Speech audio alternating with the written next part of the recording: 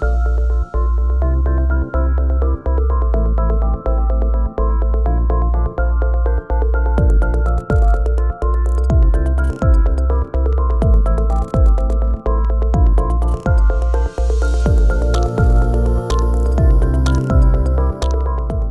Aslam doctor Willmar Schwabe Germany की जानब से सेहत का पैगाम आप देख रहे हैं होम्यो ऑनलाइन सीज़न थ्री और मैं हूँ आपका मेज़बान अली इमाम। जी हाँ आप हमारा ये प्रोग्राम हर महीने शोबे के यूट्यूब चैनल और फेसबुक पेज पर देख पाते हैं। हमारी हमेशा से ये कोशिश रही है कि हम होम्योपैथिक के हवाले से मुस्तनद और अहम मालूम आप तक पहुँचाएँ। और आज का जो मौजू है, वो इंतहाई इंपॉर्टेंट है, कोलेस्ट्रॉल, सेहतमंद चिकनाई और टिशू सॉल्ट्स। और साथ साथ मैं आपको रमज़ानुल मुबारक की मुबारकबाद भी देना चाहूँगा। शुब पाकिस्तान की तरफ़ से डॉक्टर हमारे साथ जो हमारे इंतहाई मोज़ डॉक्टर मौजूद हैं, इलाही बख्श साहब, उनकी तरफ़ से। और आज हम थोड़ी बहुत गुफ्तु जो है वो इस हवाले से भी करेंगे क्योंकि मौजू तो है ही लेकिन चूँकि रमज़ान की भी मुबारकबाद है तो उसमें जो हमारा जो एक यूजुअल जो हमारा जो खाने पीने का जो एक पैटर्न होता है वो चेंज हो जाता है। तो उसमें भी हम डॉक्टर साहब से कुछ थोड़े से सवाल उस हवाले से भी करेंगे। डॉक्टर साहब आपकी आमद का एक दफ़ा फिर बहुत शुक्रिया। सीज़न थ्री में हम लोग मौजूद हैं अलहमदिल्ला और जो टॉपिक है वो कोलेस्ट्रॉल सेहतमंद चिकनाई है और टिशू सॉल्ट्स हैं। कोलेस्ट्रॉल के खून में मौजूदगी ज़रूरी है डॉक्टर साहब। लेकिन अगर खून को मुकम्मल तौर पर कोलेस्ट्रॉल से पाक कर दिया जाए तो क्या हो ये ये सवाल जब मैंने पढ़ा तो मुझे भी बड़ा इंटरेस्ट पैदा हो गया कि आपसे कुछ इंतहाई अहम मालूम सुनने को मिलेगी इन बेशक हम मुख्तलिफ़ मीडिया के हवाले से जी। डॉक्टर्स की एडवाइस के हवाले से ये बातें सुनते रहते हैं। और हमने देखा भी है कि उमूमी तौर पर कोलेस्ट्रॉल के हवाले से एक कॉन्शियसनेस पाई जाती है। बिल्कुल बहुत ही ज़्यादा असासियत कि कोलेस्ट्रॉल नहीं बढ़ना चाहिए। ख़ास तौर पे कोलेस्ट्रॉल की मुख्तलिफ़ अकसाम है जिसमें बैड कोलेस्ट्रॉल को नाम दिया जाता है या गुड कोलेस्ट्रॉल को नाम दिया जाता है। इस हवाले से जो नतीजतन एडवाइस मिलती है वो ये है कि आप चिकनाई का इस्तेमाल छोड़ दें। ठीक है। अब अगर फ़र्ज़ कीजिए कि हम कोलेस्ट्रॉल के ऊपर पहले देख लेते हैं कि कोलेस्ट्रॉल का काम क्या होता है। हाँ। कोलेस्ट्रॉल के मैं यहाँ पर सिर्फ़ एक दो चीदा चीदा से काम बताऊँगा। एक तो यह कि बहुत अहम किस्म के हारमोन्स ख़ास तौर पे इस्ट्रोजन हाँ। और टेस्टिस्ट्रॉन ये हारमोन्स बनते ही कोलेस्ट्रॉल से हैं। ठीक है। इसका मतलब ये है कि हमारे दोनों जेंडर्स के अंदर इस्ट्रोजन के हवाले से और टेस्टोस्टेरोन के हवाले से हमारी ज़िंदगी का जो एक साइकिल है वो खासा इससे इस पर इसार करता है। ऐसी सूरत में अगर कोलेस्ट्रॉल को फ्री कर दिया जाए हम्म। तो दूसरा काम इसका क्या होगा? ठीक है। अगर कोलेस्ट्रॉल ना हो बिल्कुल। पहला इसमें फिर एक सवाल उभरता है कि कोलेस्ट्रॉल करता क्या है? ठीक है। जो जिसकी मौजूदगी ज़रूरी है। अगर हम अपनी ब्लड वेसल्स का जायजा लें। हम्म, हम्म। तो हमारे खून में दौड़ने वाला कोलेस्ट्रोल हम्म। बुनियादी तौर पर हमारी खून की बारीक और मोटी नालियों के रिपेयरिंग के काम आता है। दिस इज़ द गम ये वो गम है ये वो सीमेंट है ये वो एक लुगदी है जो कि कहीं पे खराश आ जाए तो वहाँ पर अपना लेयर बना देती। ठीक है। बुनियादी तौर पर ये काम है। जहाँ जहाँ खराशें ज़्यादा आएँगी उतना ही सिग्नल्स ज़्यादा जाएँगे और हमारे जिस खून में कोलेस्ट्रॉल की मकदार बढ़ती चली जाएगी। ठीक है। इसका मतलब ये हुआ कि बुनियाद इसकी ये है इसके बढ़ने की कि हमारे जिसम में खून की नालियों में खराशें हम्म। अगर नहीं होंगी तो कोलेस्ट्रॉल भी का किरदार कम से कम होगा और कोलेस्ट्रॉल की मकदार भी कम से कम रहेगी। अब दूसरी तरफ़ आ जाइए। ठीक है। कि ये कोलेस्ट्रॉल हमें क्यों बढ़ता है? हम्म। आमतौर पे ये कहा जाता है कि हम चिकनाई का इस्तेमाल करते हैं तो उसकी वजह से कोलेस्ट्रॉल बढ़ता है। जबकि चिकनाई के हवाले से हम उस तफसील में नहीं जाते जिस जिसके किस किस्म की चिकनाई जो है वो हमें नुकसान देती है। हम्म।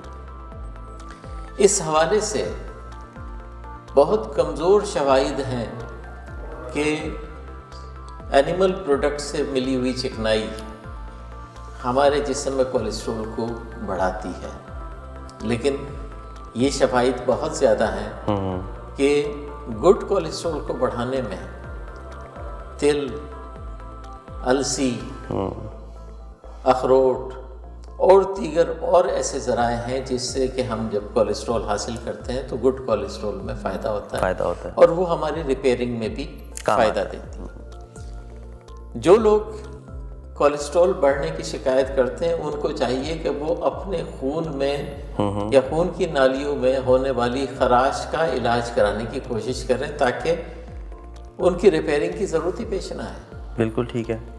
अब होता क्या है कि जितनी खराशियाँ ज़्यादा होगी उतनी रिपेयरिंग ज़्यादा होगी वो तय दर तय कोलेस्ट्रॉल जब उसके ऊपर लगता है तो उस खून की नालियों को बंद होने का सबब मिल जाता है।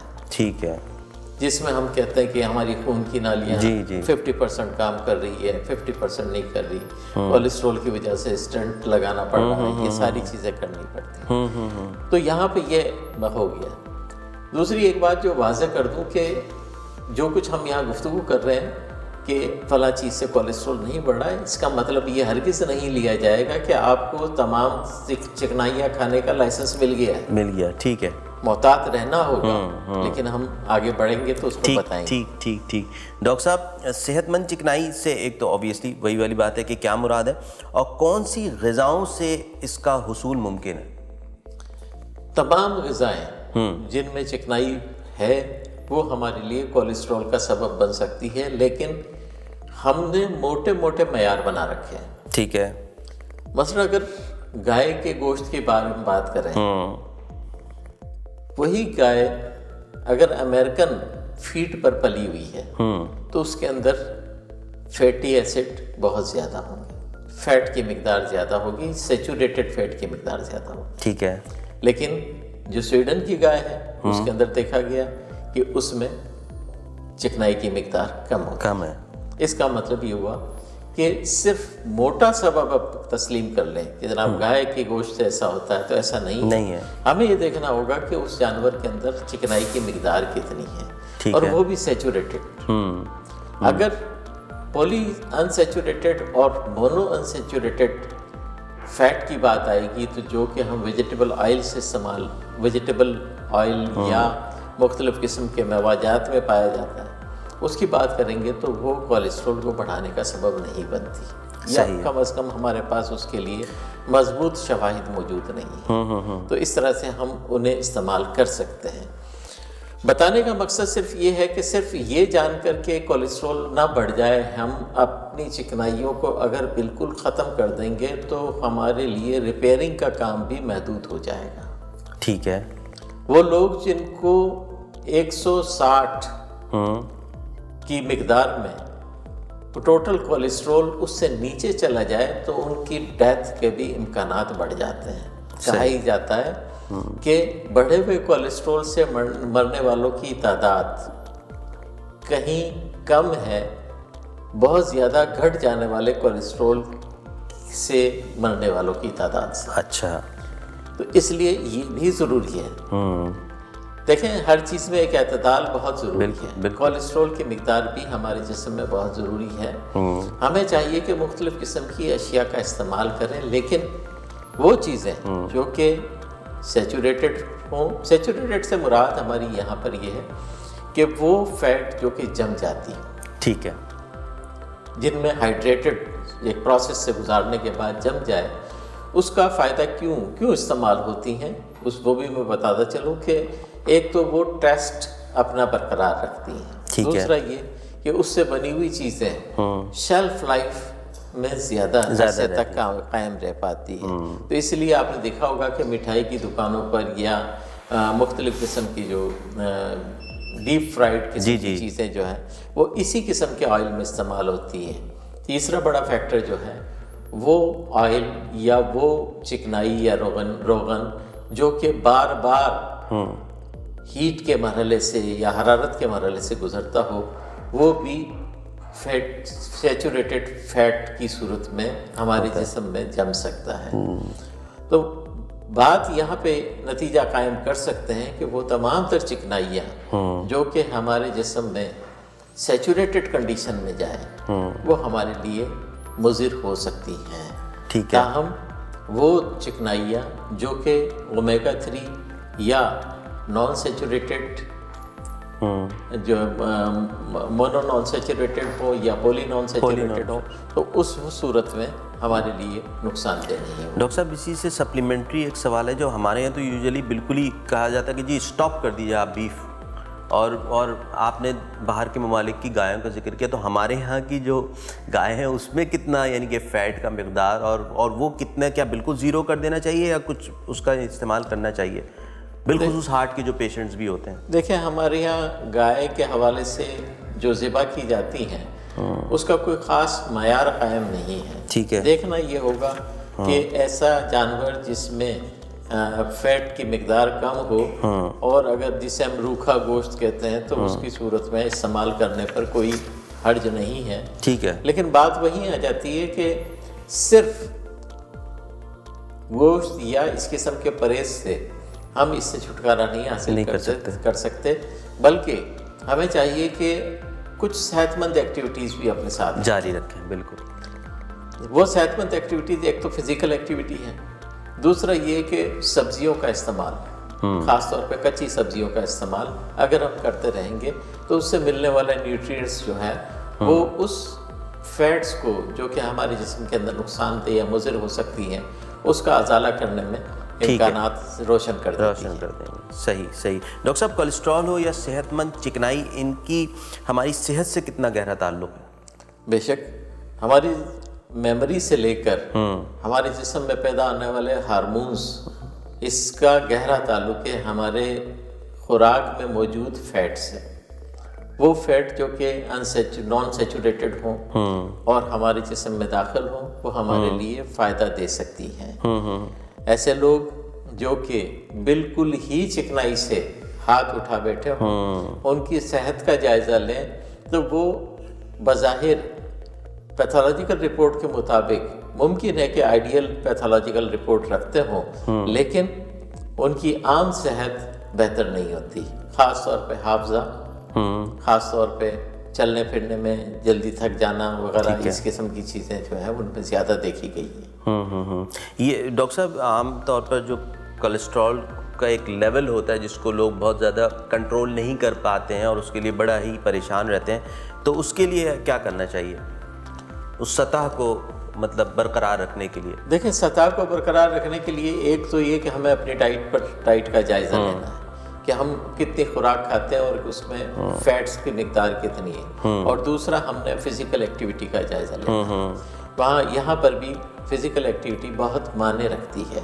अगर हम एक जगह पर सिटिंग जॉब के अगर हैं मसरूफ़ हैं तो हमें कम अज़ कम पंद्रह मिनट से लेकर और पौन घंटे तक का टाइम निकाल लेना चाहिए कि जिसमें हम पैदल चलें या अपनी एक्टिविटी को बहाल रखें। और इन तमाम उमूर जिस पर हमने अभी गुफ्तु की इसको अगर हमने सेहतमंद रखना है या बहाल रखना है तो इसमें होम्योपैथी और टिश्यू सॉल्ट्स का क्या किरदार है? बेशक टिश्यू साल्ट को अगर देखें हम तो 12 साल्ट जो कि सुशलर ने दिए हैं जी डॉक्टर इन 12 साल्ट की अपनी एक खसूसियत है। कि ये सब के सब मेटाबोलाइट्स के तौर पे काम करते हैं। मेटाबोलाइट्स को आम जबान में यूँ समझ लीजिए कि सिस्टम में जो चीज़ जायद है उसे कम करना और जो चीज़ कम है उसे जायद कर देना। या हमारे जिसम में डिस्ट्रीब्यूटेड जो चीज़ है उसको इधर से उधर ज़रूरत के मुताबिक फैला देना। ठीक है। या कारामद बना देना। तो ये मेटाबोलाइट्स का काम है और टिश्यू साल्ट का बुनियादी थ्योरी इसी पर बेस करती है। ठीक है। तो अगर हम 12 के 12 साल्ट भी अगर इस्तेमाल करते हैं तो उस सूरत में हमें हमें जहद फ़ायदा मिल जाता है। सही। और डॉक्टर साहब, चूँकि प्रोग्राम का वक्त अब नाम की जानब है तो रमज़ानुल मुबारक का चूँकि शुरुआत है तो अब इसमें तो आपको पता है जो हमारा जो ओवरऑल जो एक एक पैटर्न रहता है खाने पीने का, वो इंटायरली चेंज हो जाता है। और अफ्तार में इस तरह की, यानी कि चीज़ें जो तेल में भरपूर तौर पे जो है वो फ्राई हुई हुई होती हैं।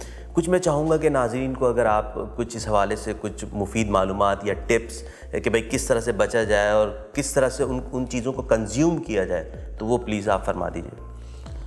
देखें इस सिलसिले में अ, मैं ये कहूँगा कि सब कुछ खाएँ। हम्म। जो कोई भी सेहतमंद तरीके से बनाई गई है उसे इस्तेमाल करें लेकिन मकदार का ख्याल रखें। हम्म। मकदार उतनी ही रहनी चाहिए जितनी एक वक्त के खाने में हम थोड़ा सा पेट खाली छोड़ देते हैं। ठीक है। इसमें भी हमने खाली छोड़ना होगा। तो उसमें कोई ऐसा हर्ज नहीं है क्योंकि हमारा जिसम इस बात के लिए आमादा होता है कि वो कंज्यूम कर सके। या उसको मेटाबोलाइज कर सके तो उस सूरत में हमें कोई आर नहीं होगा। और इसमें कोलेस्ट्रॉल के बढ़ने या कम अज़ कम उसके मुजरात का सामना करने की नौबत नहीं आएगी। नहीं आएगी। बहुत शुक्रिया डॉक्टर साहब आपकी आमद का वक्त देने का। नाजरीन इसके साथ ही हमारे प्रोग्राम का वक्त अपने अख्ताम को पहुँचता है। होम्यो ऑनलाइन सीज़न थ्री आप देखने का बहुत शुक्रिया। अपनी आरा और अपने सवालात जो है वो हम तक ज़रूर आप भेजा करें। उसका तरीक़ाकार ये है कि हमारे जो यूट्यूब चैनल है, उसमें कमेंट बॉक्स है, वहाँ पर आप अपनी चीज़ें लिख के भेज सकते हैं। जो फेसबुक आप लोग फॉलो करते हैं, वहाँ पे आप अपने कमेंट सेक्शन में हम तक वो चीज़ें पहुँचा सकते हैं। और बेसिकली जो शुबे की एक काविश है, ये बुनियादी तौर पर एक सोशल सर्विस है, जिसका बुनियादी मकसद जो है वो सेहत और इलाज के मुतालिक मुफीद मालूम आप तक पहुँचाना है। इस सोशल सर्विस के लिए शुआब जर्मनी और पाकिस्तान में इनके exclusive partner doctor Hamid general homeo private limited और दारुल अद्वियात की खिदमत काबिल कदर हैं। मैं अपने मोज़ मेहमान का बहुत शुक्रिया अदा करना चाहूँगा। इसके साथ ही नाजरीन प्रोग्राम का वक्त अपने अख्ताम को पहुँचता है। आइंदा आने वाले प्रोग्राम में हम एक नए मौजू के साथ एक बार फिर हाजिर होंगे। इसके साथ ही अपने मेज़बान अली इमाम को इजाज़त दीजिए। खुदा हाफिज़।